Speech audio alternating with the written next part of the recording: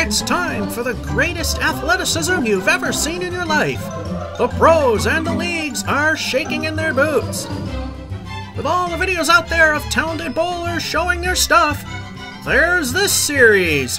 As it is now time to watch me suck at bowling.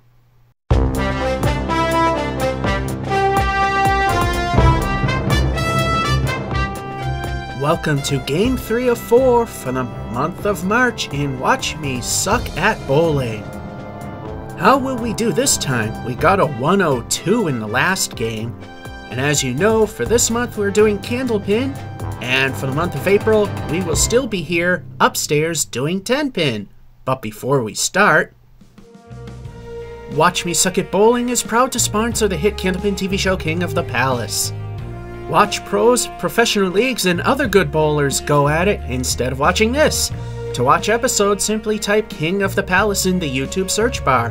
Or if you want to subscribe if you like it, go to youtube.com slash New Palace Lanes. And now for the substandard stuff that you tuned in for. Frame one, ball one. Probably not as good as the last game. You never know, but 100s do not come along very often.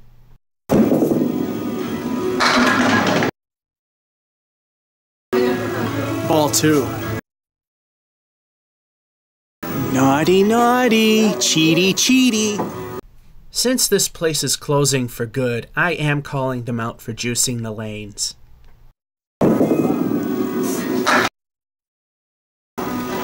Ball three. You might have noticed a quick little edit there. That's because I called out another place that juices, but they're still in business. And we start off with a 9, which ain't too bad. And for those of you that like pin setters, here's the Jane in action. Once again, it's different. And there you go. Frame two, ball one. Juicing is perfectly legal according to ICBA, so who cares? Pros, pro leagues, and those on tour don't like it because it's just too easy.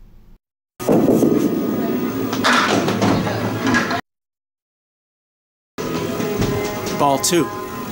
That half Worcester shot took out extra pins, but sometimes that's not a good thing. Ball three. If we can just hit that head pin, we could probably salvage this. Nope, it's a 6. That was kind of a mixed bag. We got a decent 9 in frame 1, then that half Worcester ball kind of ruined everything, and got a 6 in frame 2. We are now at 15. Frame three, ball one. 15 is an average start, although I would like to do better than that. I wanted to ask you a question, but I can't Ball two. Again, half Worcester ball taking out extra pins, good or bad? Not as bad this time.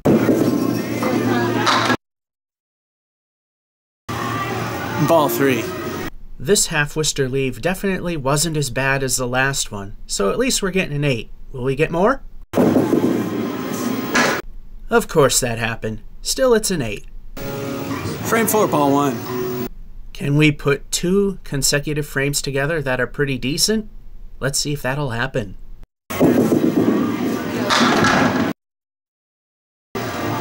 Ball two. Of course, we had to get a tough leave like that. At least we got planks on both sides that could help. Ball three. Not exactly the help we were looking for, but it was still help. Well, the planks did help. We got an 8. Those two frames didn't go too bad. We got an 8 apiece, giving us a 31, and the triple is at 212. Could that fall this time around? Frame five, ball one.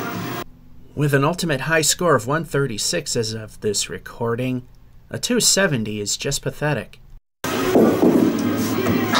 That does not help. Ball two, minor lobs we let live. That was within the five foot range. Pros and league bowlers have told me even acknowledging the line as a casual player is actually being a little hard.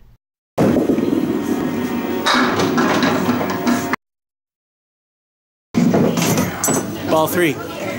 If we could only hit that elusive head pin, we still have a piece of wood that could help take out two of them. The plank did its job. It left the bowling god's middle finger for nine. Frame six, ball one. Still have not got a single mark in this game. Will we get one?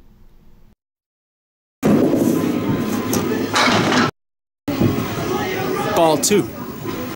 With throws like that, it's just not going to happen.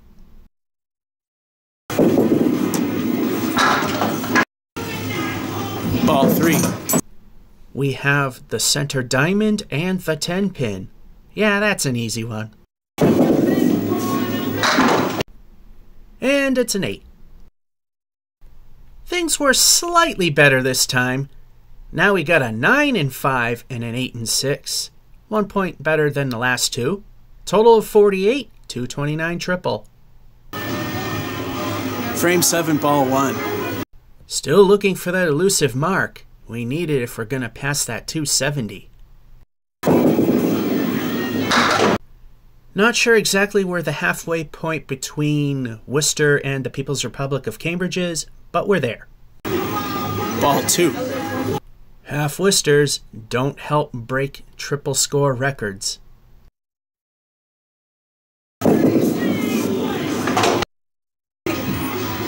Ball three. Half Worcester to do me in. It seems two pins after two balls at this place means disaster. And we hit the 2 and 8 pin, although they're already gone. And yep, disaster, another 2. Frame eight, ball one.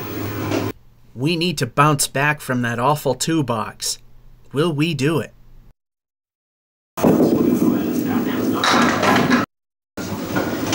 Ball two. Got another one of those ugly splits. Can we do anything with it?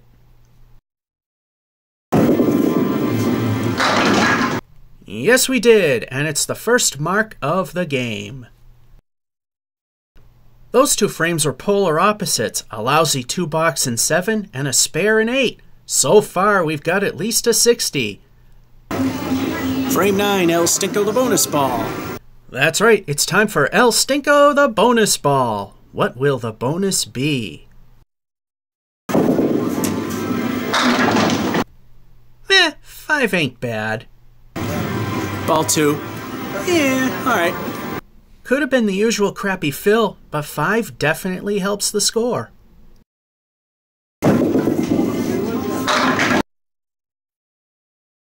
That was dumb luck. The stripper pole effect took out the 7 for another spare. That was dumb luck. Frame 10, El Stinko the bonus ball. El Stinko making a rare back to back appearance. Let's see what this one turns out to be. El Stinko delivers an alright 5, leaving a Kaleri. Ball two. Another, yeah, fill. Now the question is can we get three spares in a row, which is known as a chicken? Yeah, that was asking a bit much, wasn't it? That piece of wood set up for a good shot, though. Ball three. Yes, it's a very obscure term, but a chicken is three spares in a row. And we end with nine. It actually turned out to be a decent game, however, it's still considered below par by ICBA standards. There we go, we got an 89. We tied the triple at 270. That stinking two box, what could have been? Anyway, that's game three of four on the Candlepin floor here at Lanes and Games in the People's Republic of Cambridge.